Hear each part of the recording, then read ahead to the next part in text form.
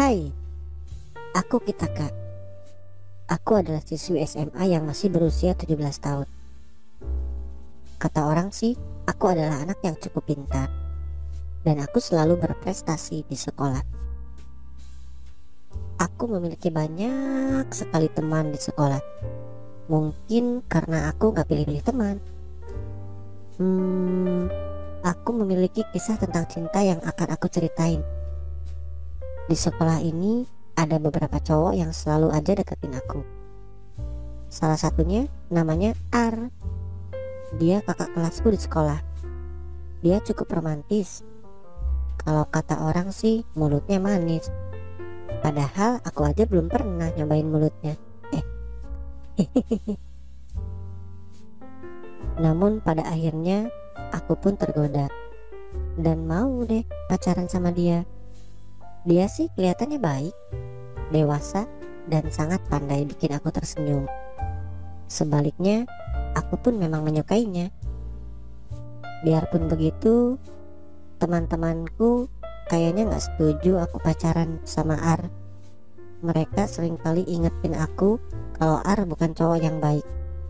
Tapi ya apa boleh buat, mataku udah dibutain sama cinta.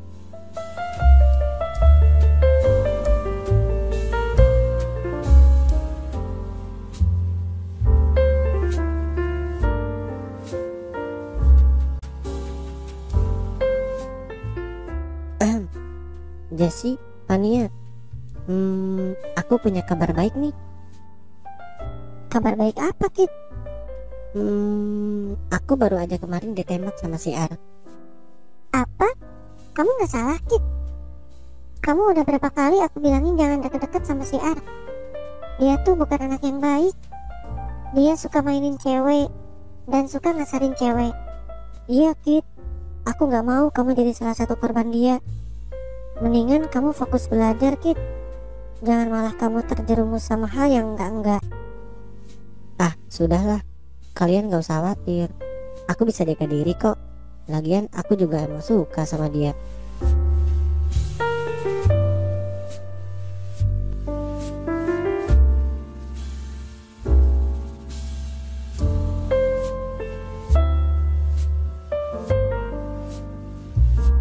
Sejak kita pacaran sama Ar, nilai pelajaran kita kan sangat menurun drastis.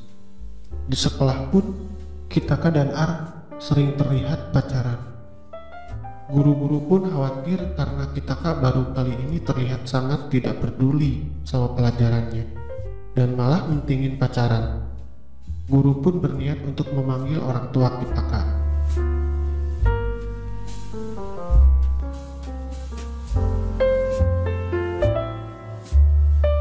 Kamu apa-apaan kita kak? Malah mentingin pacaran. Lihat nih, nilai kamu sekarang sangat anjlok. Iya nak, guru kamu bilang kalau kamu pacaran sama cowok yang kurang baik. Ibu takut kalau kamu malah terjebak sama hal buruk dari dia. Ayah, ibu, Ar itu anaknya baik kok. Dia nggak pernah ngajarin hal jelek kok. Kamu masih sekolah kita kak? Kamu harus banyak-banyak belajar. Belum saatnya kamu pacaran. Udah, mulai sekarang kamu nggak boleh berhubungan sama dia lagi. Kalian masih sekolah. Belum saatnya belajar soal pacaran. Hidup bukan hanya sekedar tentang cinta.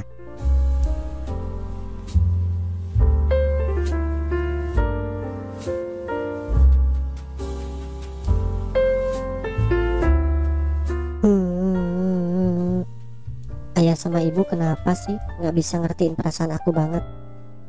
Aku juga butuh seseorang yang menyayangiku kayak Ar.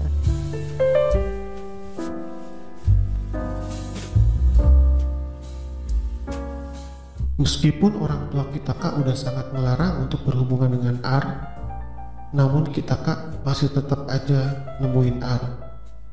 Bahkan semakin dilarang, semakin kita kak ngebantah omongan kedua orang tuanya.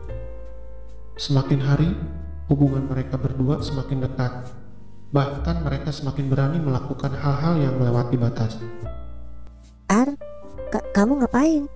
Ini kan nggak dibolehin sama agama. Kamu sayang sama aku nggak, Kit? Buktiin dong kalau emang bener kamu serius sama aku. Ta- tapi nggak gini caranya Ar. Ini udah mulai kelewatan.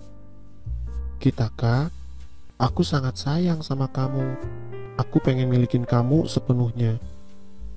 Percayalah, setelah lulus sekolah nanti, aku akan nikahin kamu. Tapi Ar, kalau aku sampai hamil sebelum kita lulus gimana? Enggak lah, Kit. Aku nggak akan bikin kamu sampai hamil kok. Tenang aja. Kamu harus percaya sama aku. Tapi Ah, sudahlah. Kalau kamu nggak mau, berarti kamu nggak sayang sama aku. Mending kita putus aja. Nggak mau Ar. Aku benar-benar sayang sama kamu.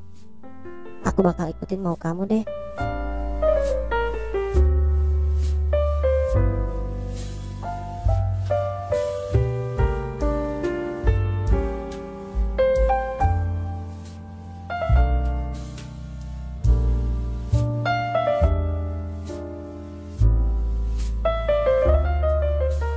Nggak cuma sekali ini aja mereka ngelakuinnya. Mereka udah kayak suami istri. Hingga suatu hari,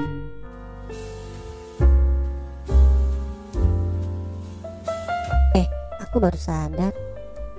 Bulan kemarin aku nggak hate. Bulan ini juga kok belum ya? Jangan-jangan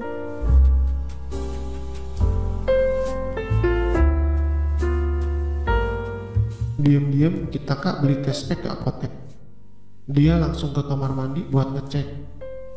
Dan ternyata hasilnya positif.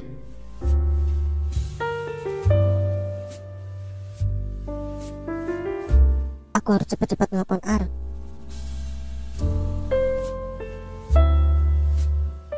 Halo, Ar, kamu di mana?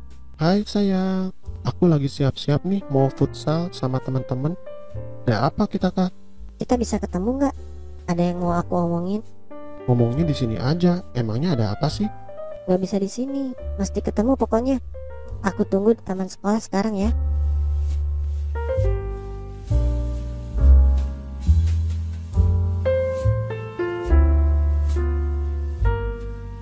Ada apa sih Kit? Muka kamu kok serius banget? Aku udah nggak hate, udah dua bulan ini. Tadi aku beli tes pack dan hasilnya aku positif hamil, Ar. Gimana ini? Apa? Kamu bercanda kan? Aku masih muda. Aku belum siap jadi ayah. Gugurin aja kandungannya. Kok gitu sih, Ar? Bukannya kamu pernah janji mau nikahin aku? Ya, tapi bukan sekarang. Nanti kalau kita udah lulus sekolah, Ya, tapi aku udah hamil, Ar. Kamu mesti tanggung jawab. Nikahin aku sekarang, Ar. kalau kamu mau aku nikahin, gugurin kandunganmu sekarang. Kalau nggak mau, ya udah, kamu urus aja hidup kamu sendiri. Gak usah ganggu aku lagi.